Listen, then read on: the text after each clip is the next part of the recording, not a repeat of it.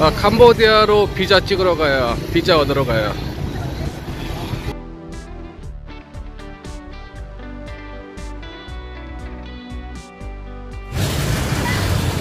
아, 금호버스를 타고 어, 캄보디아 목바이로 가서 비자를 제가 받아야 돼요.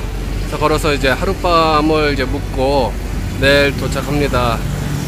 어, 지금 버스가 1시 버스가 있어가지고 그 버스를 타러 이제 이동하고 있어요. 이동할 거예요.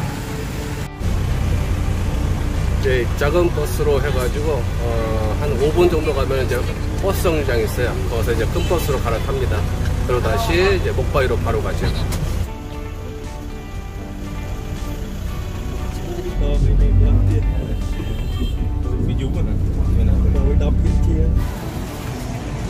여행자 거리 근처에 있는 버스 정류장이에요. 여기서 금호버스가 출발을 하기 때문에 아까 16인승 조그만 그 봉고차를 타고 이쪽으로 이동하신 거예요. 아, 목바이 가신 분들은 이렇게 금호버스를 프롬펜까지 끊고 어, 캄보디아 국경 도착해서 어, 넘어가게 되면 휴게소에 한번 서요. 어, 캄보디아 어, 초입에서 거기서 내리셔가지고 어, 미, 근처 미니 호텔 스가 쪽에서 하루 이렇게 이용하시거나 아니면 이제 다시 내려오는 차가 또 있거든요. 거기서 또 내려온 차를 타고 어, 호치민 넘어오시면 돼요. 어, 걱정하실 거 하나도 없습니다. 아, 앞에 서 있는 사람이 이제 운전버스 기사 보조예요. 아, 저 사람이 어, 베트남에서 캄보디아 입국할 때 여권을 걷어가지고 어, 비자를 단체 비자를 이제 발급을 어, 맡깁니다. 아, 지금 이제 여권을 이제 걷는 거예요. 이렇게.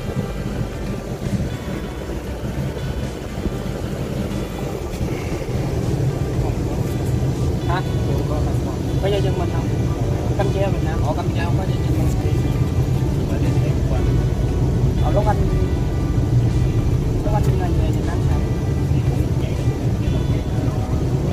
네, 조금 있다가 이제 돈을 내야 됩니다. 아, 아 마물남도 35 야, 오케이 집시 35불이에요 달라고 하는 금액이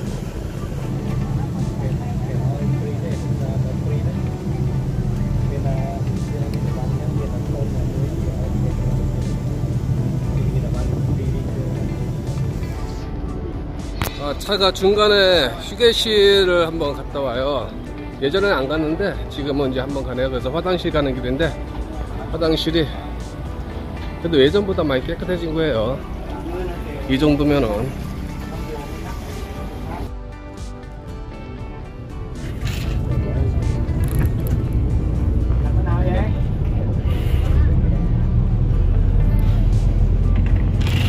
이제 거의 다 왔습니다. 이제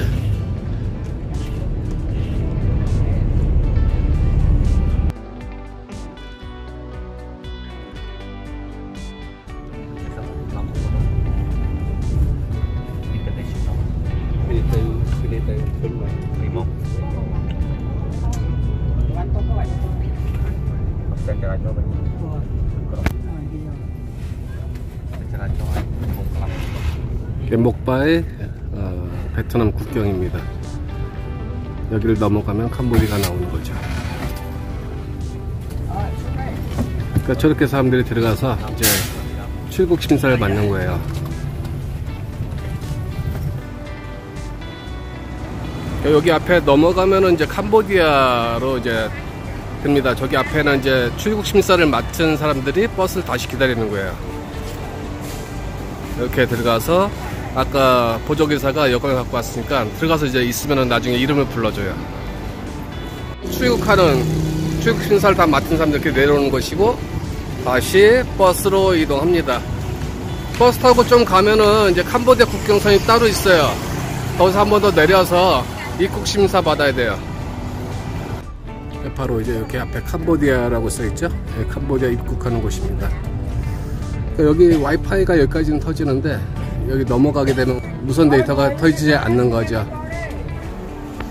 아, 여기가 캄보디아 입국하는 곳입니다. 그래서 다시 버스에 내, 내려서 입국 신설을 맡아야 되어서 어, 많은 사람들이 버스에서 내리고 있어요.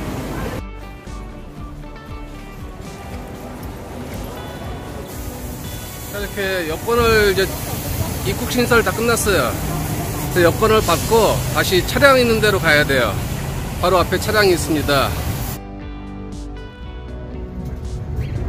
여기 국경 근처에서 국경 앞에서 한 2, 3분 정도 가면은 휴게소가 나와요. 그 휴게소에서 내리면은 주변에 미니 호텔들이 몇 개가 있습니다. 뭐 시설은 형편없어요. 근데 가격은 싸니까 하룻밤 주무시기에 괜찮은 곳이 있습니다. 그 버스 타고 또 이동 중에 있습니다. 배터리가 얼마 없네요. 아침에 100%를 충전하고 나왔는데 3G도 쓰고 어, 유튜브도 좀 보고 어, 그리고 이것저것 하다 보니까 배터리가 3% 뿐이 없어요 그래도 예전보다는 도로가 많이 깔끔해진 거예요 여기가. 그 주변에 이게 다 카지노예요. 어, 그 한국 사람 운영하는 카지노도 있고 중국 사람이 운영하는 카지노 뭐 여기 현재 카지노.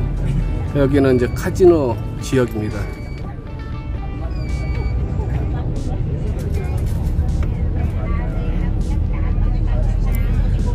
근데 이쪽에 식당이 많이 있는데 길거리 보시게 되면은 걸어 다닐 수 있는 길거리가 아니에요 솔직히. 굉장히 힘듭니다. 그래서 이쪽에서 식사를 하고 그래야 되는데 밤에는 더더욱 쉽지가 않고 낮에는 그래도 보이니까 낮에는 괜찮은데 밤에는 좀 위험해요. 이게 휴게소예요. 예전에 제가 여기 한 세 번 왔는데 그 TT라는 미니 호텔이 있어요. 그쪽으로 가려고 했는데 이게 그 근처에 있어가지고 보이길래 한번 물어보니까는 가격이 괜찮아요. 거기 TT라는 것도 35불인가 이렇게 한 기억으로 알고 있는데 일단 여기는 45불짜리예요. 45불은 좀 약간 비싼데 그래도 뭐 이 정도면은 여섯 하룻밤 지내기는 괜찮아요 에어컨도 다 있고 어, 깔끔하고 괜찮습니다.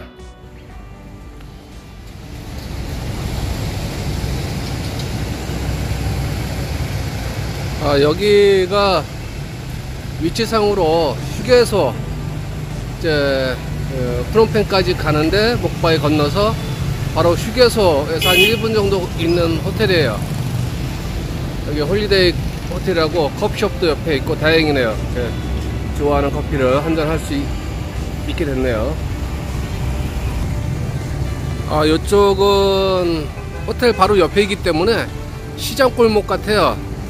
지금 해가 지려고 6시기 때문에 좀 있으면 해가 질 거예요. 이게 여기 메인 도로인데 먼지가 엄청 날립니다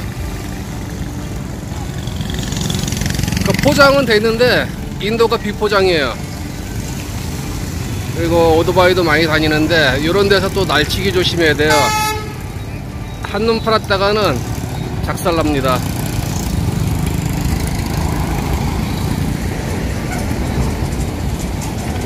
이게, 이게 안개가 아니라 먼지예요.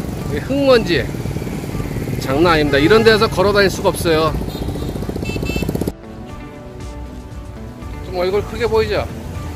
이렇게 걸어 다니면서 촬영해요. 누군가 나를 계속 따라오네.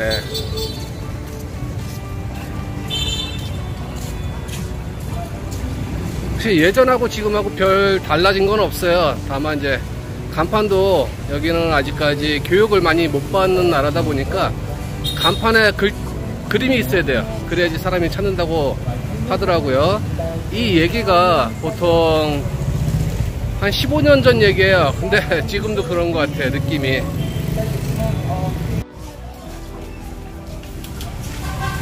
뭐 베트남 말도 있네요. 어, 하긴 뭐 여기는 뭐 최소 3개국어는 하는 것 같아요. 기본적으로 2개국어는 하거든요. 베트남하고 캄보디아. 그리고 영어 하나 더 붙이면 3개국어 사람들은 참 똑똑한 것 같은데 이쪽 지역 경제 발전이 뭐 쉽지는 않네요.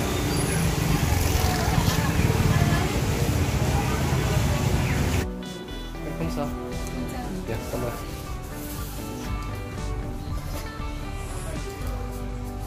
저 슈퍼에 왔어요. 와가지고 지금 뭐 물건 좀 사러 왔는데 중국계 많아요. 혹시 여기 중국 투자자들이 많아가지고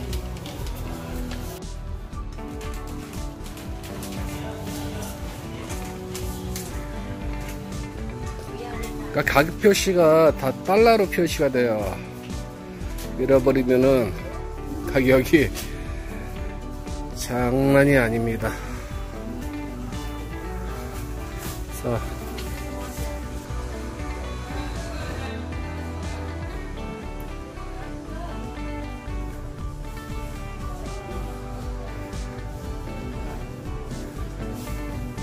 그래서 슈퍼를 좀 둘러보고 어, 하룻밤 있을 동안에 먹을 거를 보고 있습니다. 물 두 병, 콜라 하나, 과자 하나, 스파게티 컵라면 하나 이렇게 해가지고 8,000원이에요. 베트남동으로는 한 14만 6천 동 이렇게 나왔어요. 무지하게 비싼 겁니다. 네, 길거리 음식이에요. 그러니까 가격은 얼마인지 몰라요. 근데 이렇게 길거리에서 음식을 이렇게 팔아요. 그 음식을 튀겨서 줘요. 음, 그래서 저도 하나 사 먹어야 되는데 이렇게 아, 맛있어 보이는데요. 어.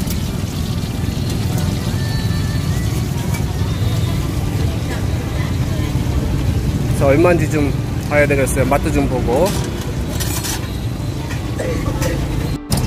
이렇게 자기가 원하는 거를 이렇게 끄집어 가지고 이렇게 담아요. 그러면 여기 앞에서 튀겨줍니다. 핸드폰 조심해야 돼요. 촬영을 하고 있는데 마음은 딴 데가 있습니다. 지금 현재.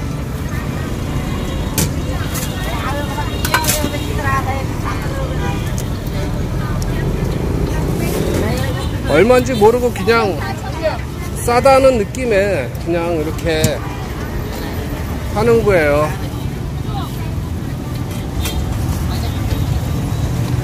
뭐 튀긴 다음에 물어보든가 튀기 전에 물어보고 그렇게 비싸지는 않을 거예요. 정확한 금액은 몰라도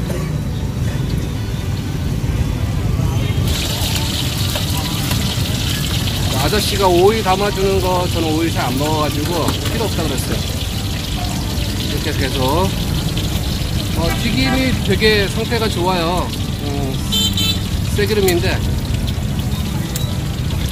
보통 시장 바닥에서 이렇게 쇠기름으로 잘 안 튀겨주는데 그러니까 아무래도 사람들이 서민 음식이다 보니까 어, 믿고 먹는 거죠. 아 저기 앞에도. 사람들이 모이는 곳은 당연히 이렇게 이유가 있죠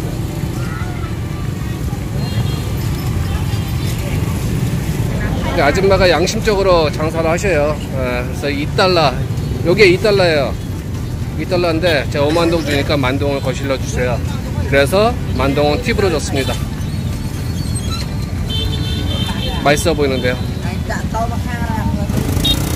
어, 닭다리에요. 치킨을 튀겨놓은 거를 이제 그렇게 담아서 어, 파네요. 겉보기에는 맛있어 보이지는 않는데 튀겨놓은 거기 때문에 좀 눅눅할 것 같고. 그래도 뭐 여기 사람들이 좋아하면은 좋은 거죠. 길거리 식당이에요. 이렇게 과일도 과일도 팔고. 사람 가 사람 사는 곳이니까 팔 수 있는 거는 다 팔고 있는 거죠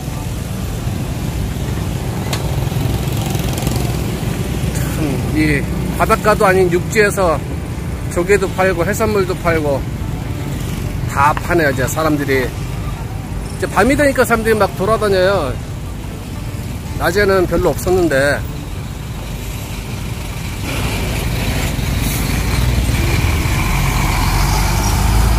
캄보디아 번호판은 하얀색 바탕에 파란색 글자예요. 캄보디아가 써 있어요. 아, 여기는 호텔 바로 옆에 있는 커피숍이에요. 근데 제가 중국 사람인 줄 알고 자꾸 중국말 하는데 한국 사람이에요. 그리고 영어가 안 통하네 여기는. 아, 그러니까 영어는 뭐 호텔 진짜 어, 별 있는 호텔들. 그러니까 뭐 4성, 5성 이런 데만 영어를 좀 통할 것 같고 길거리라든가 이런 데서는 베트남어도 안 통해요. 그러니까 오리지널 이제 캄보디아 분들이 많다 보니까 베트남어를 할 수 있는 상가들도 있지만은 그렇지 않은 상가들이 많다 보니까 베트남어는 부가적인 거고 캄보디아를 무조건 써야 돼요. 영어는 통하지 않습니다. 길거리에서는. 그래서 쇼를 해야 돼요. 손가락 쇼. 그래야지. 아, 그래도 이게 돈 낼 때 걱정이죠. 베트남 돈은 낼 수 있어요. 달러도 낼 수 있는데 이제 캄보디아 돈을 안 갖고 있으니까 베트남 돈으로 해결을 해야 돼요. 무조건. 이쪽 지역에서는. 이게 1달러 50이에요. 그러니까 베트남 돈 따지면 한, 한 3만 5천 동. 이 정도 되는 건데 맛이 어떤 맛인지 그래도 감사 약간만 저분도 베트남 어인데 아마 바보 됐네 그리고 이제 아까 요거는 베트남동이죠 호치민 할아버지 우리의 영웅, 영웅. 자, 여기 캄보디아 돈이에요. 어, 여기 국왕이겠죠, 아무래도. 이렇게. 그래서 잔돈을 이렇게 받았는데, 이게 천, 뭐라 그래야 되지? 베트남동을? 아, 아, 캄보디아 돈을 뭐라 그러지? 모르겠어요. 하여튼 이거 천이에요. 음. 그래서 예전에 이제 많이 예전엔 봤어요. 봐서 어, 베탐동을 썼기 때문에 캄보디아 돈을 한 번도 못 써봤어요. 그리고 이제 받아본 건 또 요번이 또 처음이에요. 그만큼 뭐라 그럴까 돈의 값어치가 없다 보니까 달러하고 베트남동 이렇게 사용을 하는 것 같아요 워낙 여기도 화폐 단위가 커가지고 아까 산 거 산 거를 저녁으로 한번 먹으려고요. 컵라면을 먹었는데 또 길거리에서 길거리 음식이니까 소스예요 이렇게. 칠리 소스하고 여기 현지 소스를 같이 섞은 것 같아요. 먹방도 아니고 참. 혼자 잘하죠? 어, 혼자 쇼도 잘하고. 그래서 아까 튀긴 거. 커피는 저리가 이제 어어 어, 어, 어, 하나 굴러갔어. 씨. 어이씨 그 어묵이에요. 거의 다 어묵이고 어 이거는 뭔지 모르겠어요. 소세지인지? 음 어묵이야 안에 옥수수 들어간 어묵.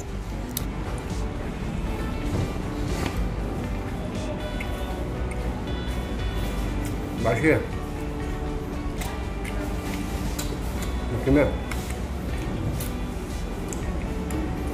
돌이 씹혀요 먼지가 많아가지고 이 먼지가 여기 안에 아 그래서 아까 자기가 치킨 하나 주고 이렇게 열고 닫고 이렇게 해놓은 거예요. 먼지가 많으니까 그냥 길거리에다가 음식을 딱 펼쳐버리게 되면은 그 안 보, 그 눈에도 뿌옇게 보이잖아요. 그 흙먼지들이. 바람이 불지 않았어요. 근데 자동차들이 지나다니는 길이다 보니까 비가 안 와서 흙먼지가 그렇게 일어나니까 음식을 이렇게 딱 보관하는 거야. 흙먼지 들어가지 말라고. 그런데도 돌이 씹혀요. 이게. 근데 맛은 괜찮아요.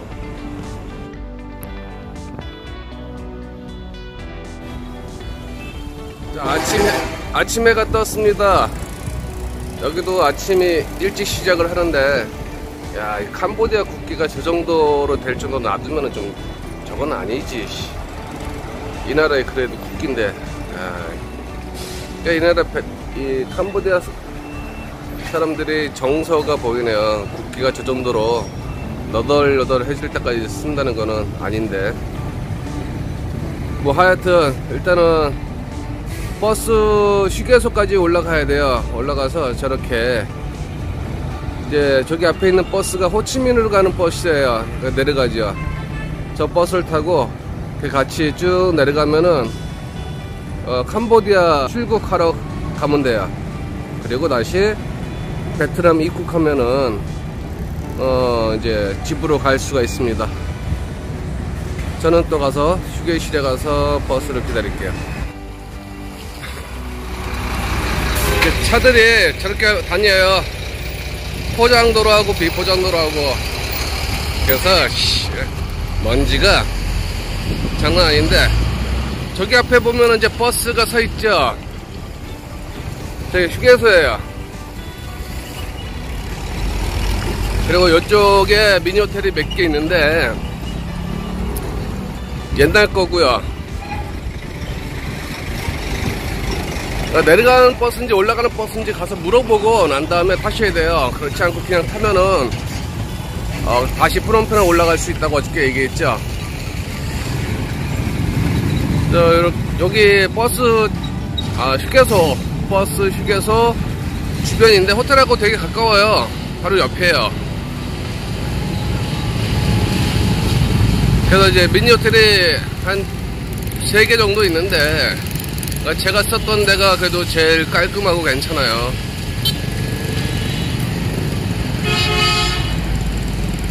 저기 앞에 트럭이 하나 퍼져가지고 그냥 주저앉아 있네요. 자, 여기서 다시 저는 호치민으로 내려가겠습니다. 그러니까 저기 안쪽에 골목에 보시게 되면은 하이안 호텔이라고 있어요. 저게 어, 오늘은 제가 저쪽에 홀리데이 있었지만은 전에는 저 미니호텔을 썼기 때문에 홀리데이보다 좀 싸요. 그리고 안쪽 골목에 있다 보니까 이제 나와서 밤에 이제 나와서 밥 먹기가 좀 그래요. 어, 가로등도 없고 좀 으슥하기 때문에 그래서 제가 대로변에 있는 아까 홀리데이 호텔을 쓴 거고요. 여기 앞에 보시게 되면 이렇게 이제 어, 버스가 오면은 사람들이 이제 xe ôm이랑 비슷하죠 베트남에. 근데 이제 말이 통하지가 않은데 말이 안 통하면 어디로 갈지 모르기 때문에 그래서 항상 이런 아저씨들은 많아요 여기에. 자, 여기 이제 교통수단이 되겠죠. 휴게소에서 점심하고 좀 쉬었다가 올라가는 거예요. 어, 요 버스 운전기사가 어, 제가 호치민에 간다고 하니까 여권을 달라고 해가지고 어, 내려갈 때는 차비만 주면 돼요. 근데 이제 베트남 동보다는 이제 달러로 달라고 해서 10달러를 냈습니다. 그러니까 여권하고 어, 차비를 주면 된다는 거. 그래서 버스가 위에서 내려왔는지 밑에서 내려왔는지 꼭 확인하고 운전기사 보조한테 물어봐야 돼요. 그렇지 않으면 나중에 낭패를 볼 수가 있습니다. 프놈펜에서 호치민 가는 버스는 1시간에 한 대 내려오는 것 같아요. 어, 제가 아까 한 10시 정도에 도착을 했는데 아까 버스 한 대를 놓쳤거든요. 어, 근데 안 오더라고요. 그래서 1시간마다 한 대 온다는 거 생각해 주시고요.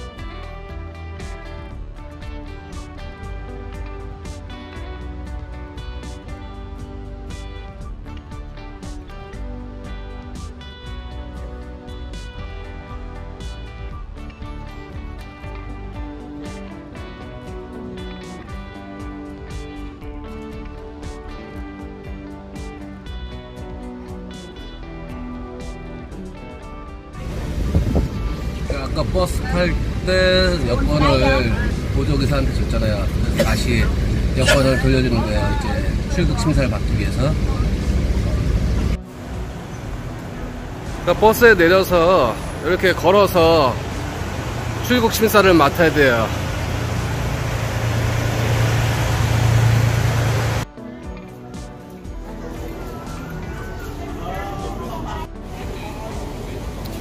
다시 또 여권을 걷어요. 이제 출국 심사 끝났습니다.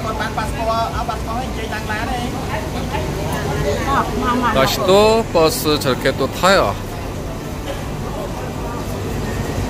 아주 간단합니다. 잠깐만.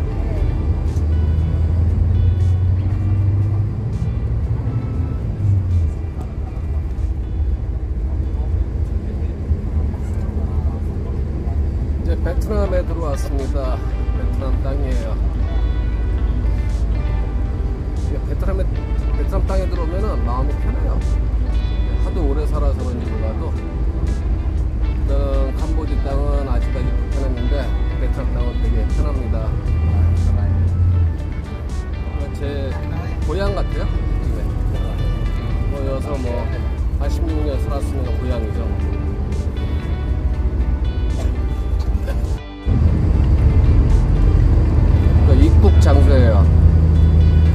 이렇게 왔습니다, 저희가.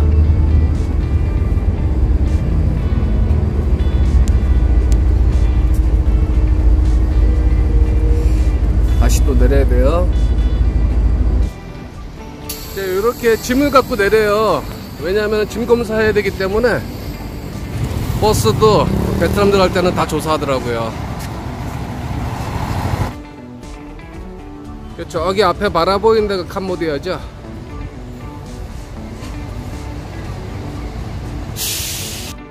자, 아까 버스 내리는 게 다시 여기 와 있죠. 이걸 타면 돼요. 이제 어, 입국 심사가 다 끝났습니다. 여기가 입국 심사 이렇게 나오는 곳이고요. 그러니까 여권을 이제 받았기 때문에 그 여권을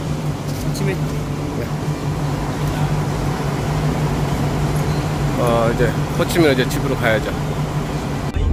어, 3개월짜리 받았습니다. 어, 1월 22일까지 어, 비자를 쓸 수 있는 거고요. 저는 결혼 비자 5년짜리가 있기 때문에 그래서 1년에 한 번씩 그 캄보디아를 왔다 갔다 해야 돼요. 그러니까 예전보다는 좀 많이 까다로워졌고요.